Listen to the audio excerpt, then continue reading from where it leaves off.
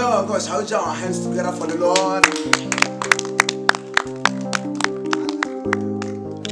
Brother Isaac and Sister Ruth, you people are now husband and wife.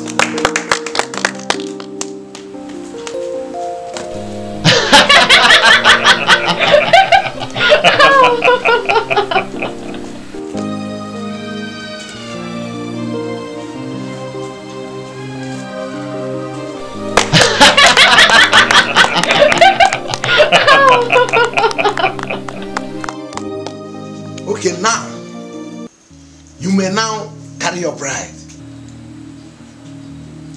Pastor, please, you can change this English. What? Let my wife carry me. No problem. You both are one.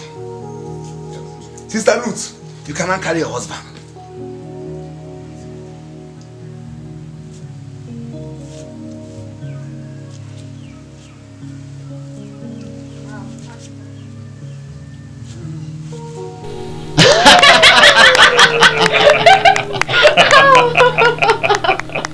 Hallelujah! Hallelujah! Amen!